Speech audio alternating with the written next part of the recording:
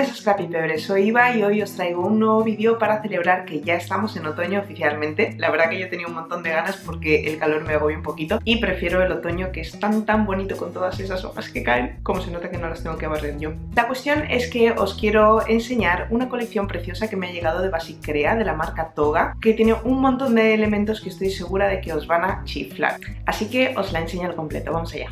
Bueno, pues aquí tenemos la colección que como veréis es súper completa, tiene todos estos tonos que son súper otoñales y la verdad es que yo soy bastante clásica en eso y cuando las cosas son de otoño me gusta que tenga pues la gama de colores del otoño que son todos estos eh, anaranjados y marrones. Así que la verdad que lo que son los colores me encantan y además eh, aunque sí tiene la tonalidad de otoño tiene un color así como vivo y eso la verdad que me encanta. Así que vamos a ver primero los papeles y luego los elementos decorativos que acompañan la colección.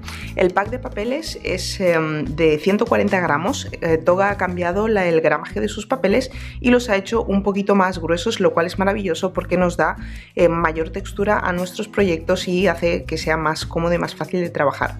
Vamos a ver que son tres, eh, tres diseños de cada uno de los papeles y son 12 diseños diferentes. Por lo tanto tenemos un montón de papeles. Están estampados, eso sí, a una sola cara, pero bueno, a mí me encanta porque yo utilizo mucho cartulina lisa, blanca normalmente y eso hace que forrar la cartulina blanca pues eh, le dé mayor textura incluso y es muy cómodo para trabajar y sale muy bien de precio. Entonces vamos a ir viendo los diferentes diseños que como veis van a ir combinando estampados más eh, fuertes con estampados más suaves.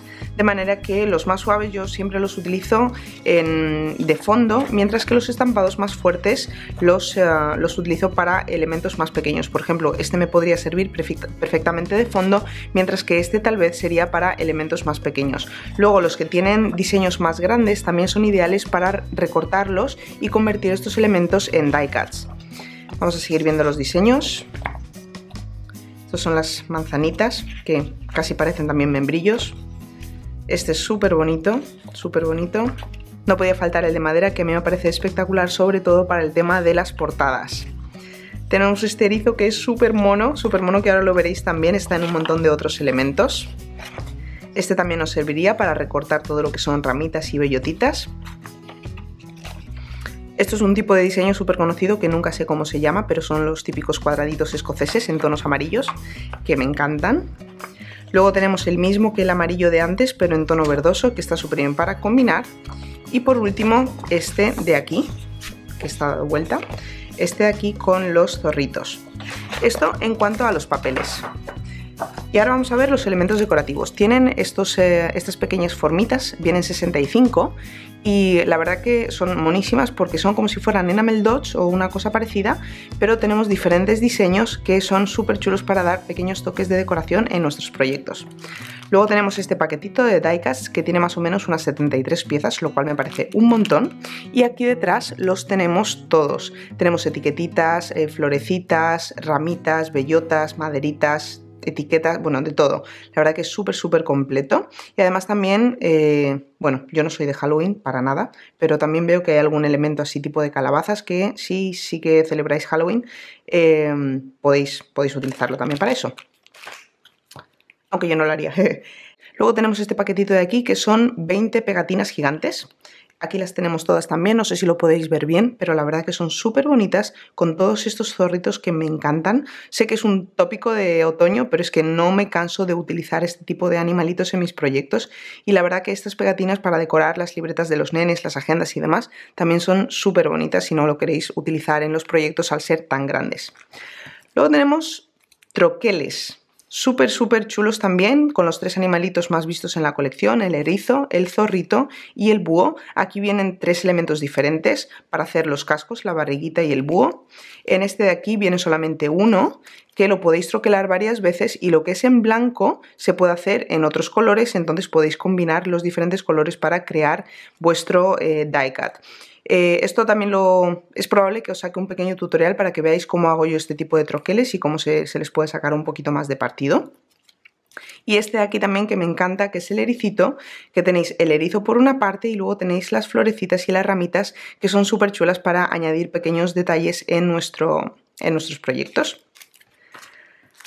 Tenemos por aquí este paquetito de... Mm, de sellitos que son ideales porque lo, que me encanta de los sellos es cuando se pueden colorear. Me gustan los sellos que simplemente estampas en colores y demás, pero yo soy más de utilizar siempre tinta negra, sobre todo la Versafine que me encanta, además define muchísimo, eh, para colorear por ejemplo con lápices, pero si voy a colorear con algún tipo de acuarela, que también, o con los Stabilo por ejemplo, o lápices acuarelables, utilizo la Archivalink, que es eh, como muy resistente al agua, por lo tanto se puede eh, se puede utilizar esa tinta y luego colorear con las acuarelas que puede quedar súper bonito. Luego lo recortamos y lo aplicamos en relieve y nos queda precioso en nuestro proyecto. Tenemos también estas eh, etiquetas que no sé si lo veis, pero son así como iridiscentes, me parece que se dice, o bueno, brillantosas que le digo yo. Y son estas dos de aquí. Fijaros que tiene los dos animalitos en grande y luego un montón de pequeños elementos que podemos pegar en diferentes eh, partes. Así que súper útiles. Aparte de los decas, probablemente estas pegatinas son de mis favoritas para los proyectos. Son las eh, pegatinas epoxy, que tienen así como un tacto de silicona, son blanditas, no son como los enamel dots porque son más blanditas, pero tienen un poquito de brillo porque están así como Mm, pues silicona obviamente, entonces sí que brilla porque es más plasticosa, pero me parecen súper súper bonitos, dan un poquito de relieve, dan muchísimo juego, son totalmente cubrientes, por lo que allá donde las pongas pues eh, no se va a ver lo que, lo que hay debajo. Y vienen la tira de 33 pegatinitas y como veis son todas súper bonitas. Y por último tenemos estas pegatinas que son dos hojitas de pegatinas, son chiquititas y muy finitas, lo cual eh, las hace súper útiles para utilizarlas en el bullet journal. Este tipo de pegatinas son las que yo siempre he utilizado de toga para decorar en mi bullet journal porque lo que lo que tiene de diferente, por ejemplo, de los die cuts, que los die cuts están recortados, que son estos de aquí, están recortados en cartulina, por lo tanto tienen bastante más grosor que esta, que es una eh, lámina de pegatina de papel bastante finito, por lo tanto no dan ese grosor en nuestro bullet journal y es bastante, eh, bastante más liso. Entonces le da un toque súper chulo porque son muy bonitas, pero no se produce ese relieve que luego hace que nuestro bullet journal cuando está lleno no se pueda cerrar.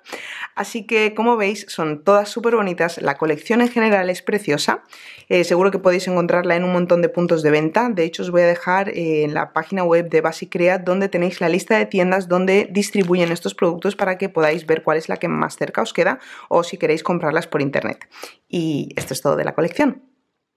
Bueno, os había dicho que esto era todo de la colección, pues me he equivocado, se me había olvidado enseñaros probablemente lo más bonito que son los washi tapes. Tenemos eh, por esta parte de aquí, a ver si consigue enfocar la cámara para que veáis los cinco diseños tan bonitos que tienen. Eh, esto, este pack de washi tapes, que son unos washi tapes finitos, la verdad es que se ven preciosos y a mí me encanta utilizar los que son más finitos, de hecho que de los que son más gruesos, pero esta vez Toga nos ha quedado corta y si nos gustan también los gruesos, nos ha creado esta colección, pero es que quiero que veáis el soporte, por favor es tan tan bonito que os lo tengo que enseñar. Bien, aquí lo tengo.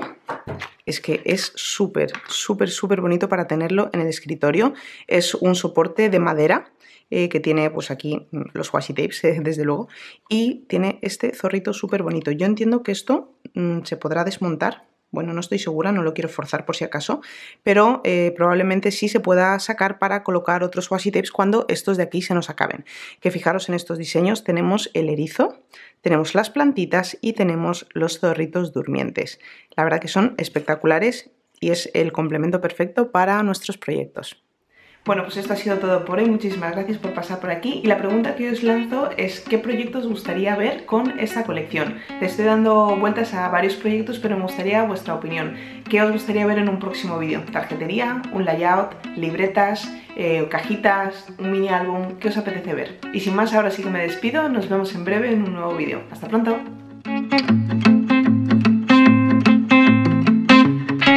¿Y a ti? ¿Cuál es la estación que más te gusta?